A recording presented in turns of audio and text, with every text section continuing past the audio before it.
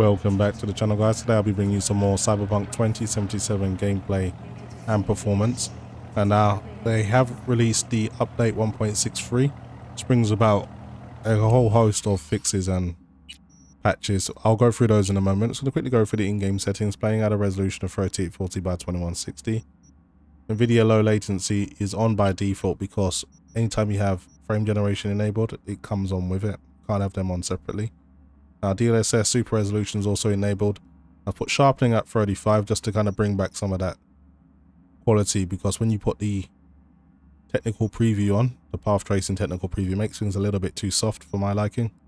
And everything else is maxed out as you can see. What I have disabled though is film grain, chromatic aberration and depth of field and motion blur. These are just effects I feel to make the game a little bit too blurry in my opinion and uh, I, I prefer to have them off and I've got field of view at 90 now in terms of crowd density, that's maxed out at high.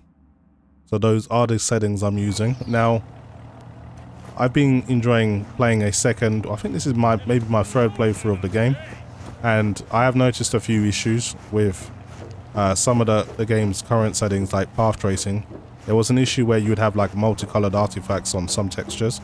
In the update, it specifically lists that they fixed that now, so I'm happy to see that and I was kind of alluding to that in my live stream yesterday why I wasn't using path tracing.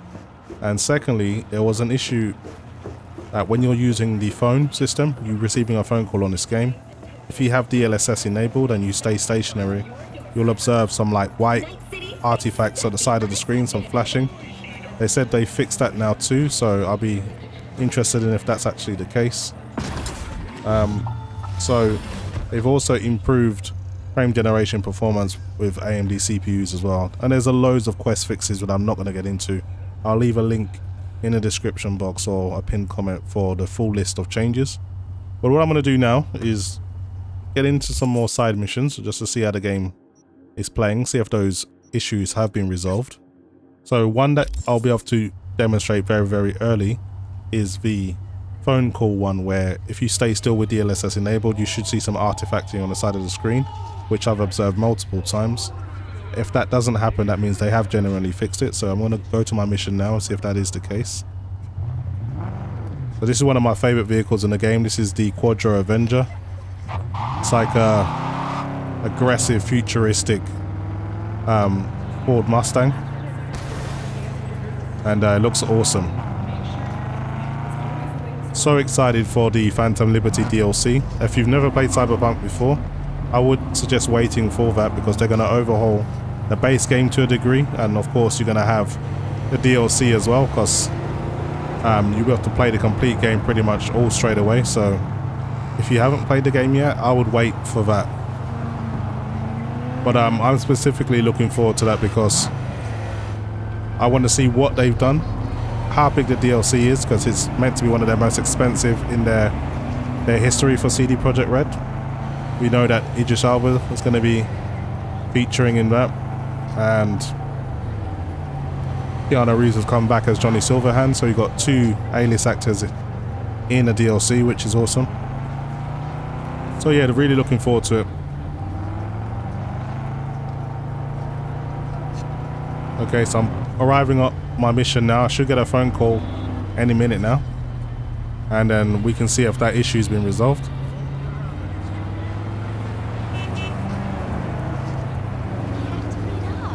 Okay, Padre should call me now. I'm just gonna get out of the car. A client wishes to free another man of his earthly possessions.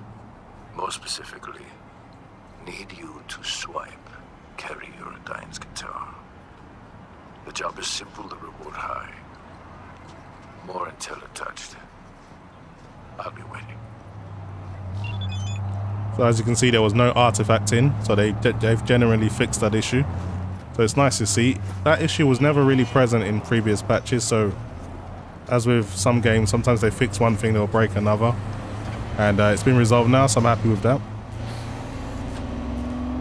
So I've got to break in and get Kerry Eurodyne's guitar.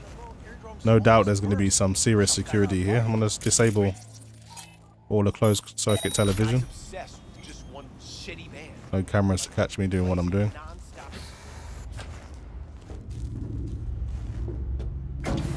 Also, this game is just amazing in HDR. I'd love to play in HDR now for you guys, but um, you can't use HDR and frame generation together. I don't know why that is, but that is something that is a limitation of uh, frame generation at the moment. Maybe they'll deal with that another day, but it's a very, very strange limitation. Secondly, I thought it's worth mentioning, I'm using some mods. I'm using the Surface mod, and um, this kind of explains why my um, VRAM allocations around 18 gig, but I'm using around 15. So if you're wondering why I'm using so much VRAM, that's the reason why. Okay, so I can't get in here with my technical ability and I can't rip the door open as well. So there, I remember there being another way to get in here. I think I have to go to the roof. Then you can jump down off the off the balcony. So let's go up onto the roof and find another way in.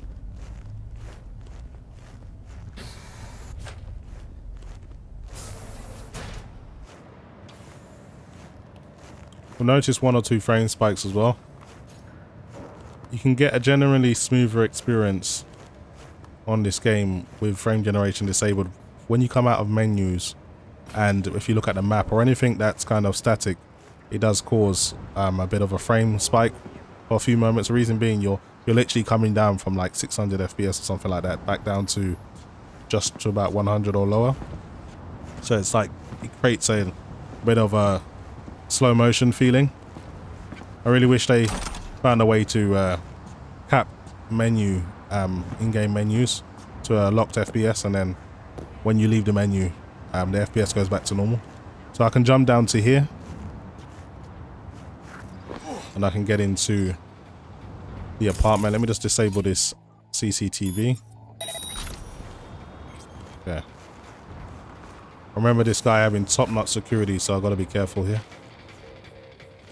Let's turn off the damn radio. I need to be hearing that. Great, it's got another one somewhere.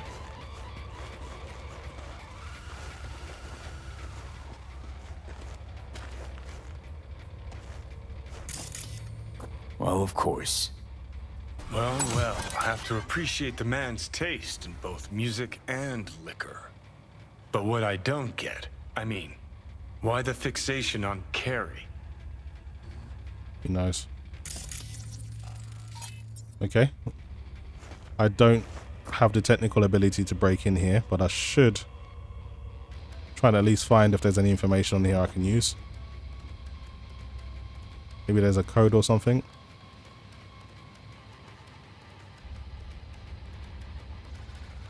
Nothing here. Okay. Let's go on to the second floor. I'm just watching out for CCTV because if you mess up, his security turns up and they're pretty good as well, so I'd rather avoid the altercation if I can. I think I might even get a bonus for doing this without causing any any alarm.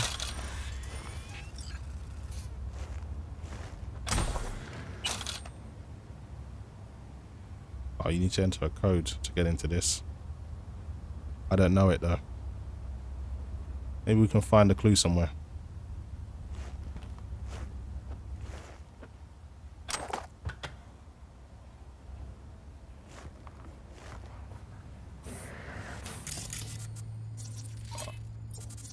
another door. Okay.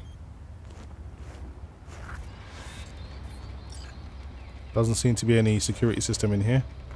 There it is.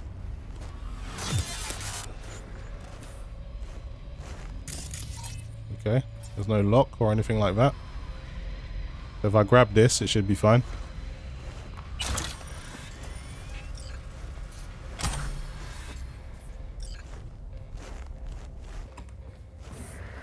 Okay, let's get out of here. Job done. I haven't been found or anything. There were some messages in here. Turn off any other security. Surveillance is already off, so that's okay. I should be able to leave through the front door.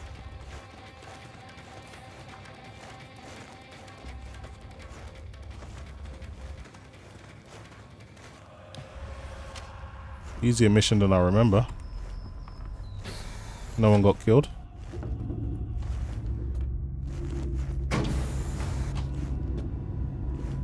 I know some of you guys have got questions about frame generation. How does it feel in terms of input lag? All, all I can say is um, it doesn't feel laggy. Like you can easily aim at your target. You can easily shoot the trigger and you're not going to wait two or three seconds like you'll see on some cloud service gaming platforms. But um, I wouldn't use this for competitive gaming. I would say the best time frame generation isn't really going to cause you any issues as if the base FPS is over 120. And then if you use it just to kind of get to somewhere like 200 or 240, then you're not going to feel any type of penalty if you were going to do something like competitive gaming. Anyway, I got to go and deposit this. I'm just waiting for the road to get clear. But yeah, it's nice to see that they fixed that issue with the holo. That was really annoying. Because I've been playing this game every other day and I noticed it pretty much straight away. So it's really good that they've actually got around to fixing that.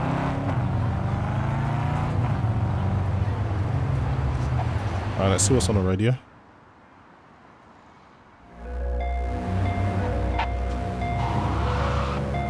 One of the better songs in the game.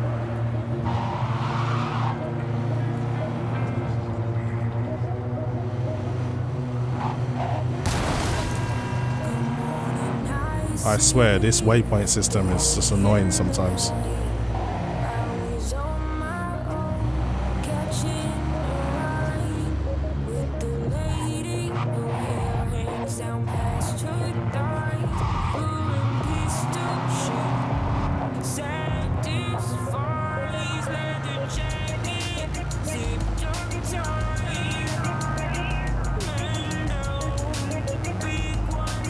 Game looks so much better in HDR. I can't even explain just how much better it does, but if you've got a HDR screen, you have to play this game in HDR. I noticed there was an issue around here that the NCPD needed, something, needed my help with, so I'm going to go and do that mission now. And uh, you're guaranteed to be able to shoot at some people. So it's all about getting in here now. Should be able to run and jump up there, actually. Yeah, this guy doesn't know I'm here. Wonder who these guys are. Not too sure who these guys are. They might be Militech. Short circuit this drone.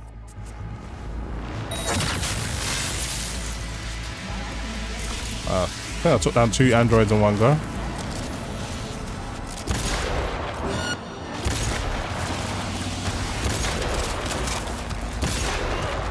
These guys are pretty tough. Fire! Fire! Let's take down this drone with a short circuit.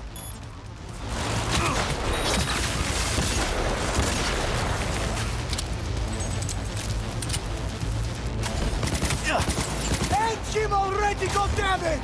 That's an order! Oh, you like my blade. Come on, don't die already. The hell? That was some weird ass glitch. Why he just jumped back up there? I know that wasn't supposed to happen. Together! Roger!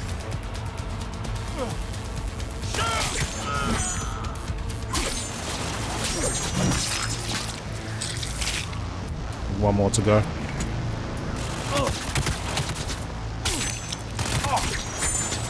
Um, cut its head completely off. You're a goddamn psycho! I know.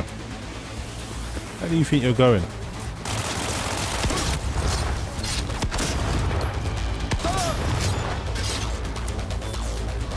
Nice.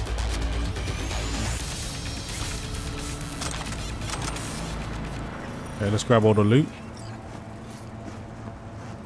Not too sure what these guys are doing here. NCPD just want me to neutralize the perps and secure the evidence. All perps being neutrali- neutralized for sure. I only spend my time grabbing all this stuff because the easy way to make money on this game. Let's grab the evidence now and get out of here. The good job is, for being such a fine, upstanding citizen, the uh, government will pay you for, for doing these small tasks. It's almost like they outsource to kind of local, what we call you, um, local mercs maybe? Vigilante type people will take on these types of jobs. Okay, gotta find a way out of here now. I think I left my car down here. Looks like an easy way to die. I think I'll find another way out. Think this is the way I came in.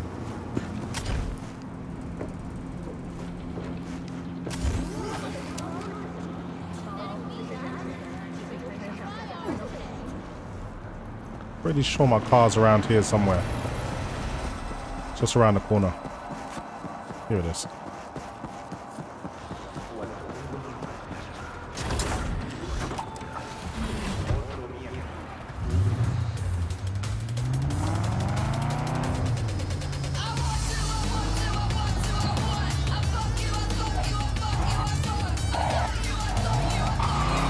Took the wrong corner.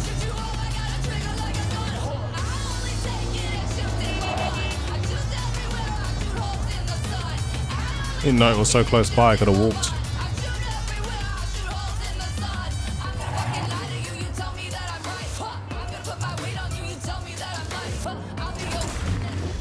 My car was a little bit too big for that parking zone anyway. Okay, let's get our reward for our hard work.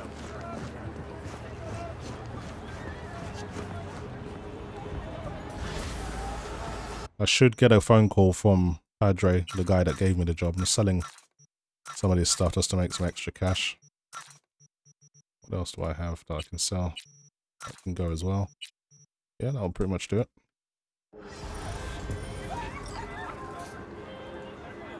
I can truly count on you, V. The guitar is in the right hands, securely now. Closing this contract and transferring your compensation. Okay, guys, so that is job done. Gotta, gotta level up for that as well so I can power up my player even more. Kind of weak at the moment. But yeah, that was just a quick look at the patch 1.63. As you can see, they've resolved the issue with the phone calls and the and the uh, kind of flashing artifacts while using DLSS. And they've also resolved the kind of multicolored artifacting while using the path tracing. But all of that's been sorted out and I'm pretty much enjoying Cyberpunk better than I ever have. So even if you don't want to wait for the DLC, you should still be able to have a good experience with a few bugs here and there, but it's definitely playable, um, more playable than it's ever been. So that is pretty much it for me, guys. Hopefully you've enjoyed the video, and as always, thanks for watching.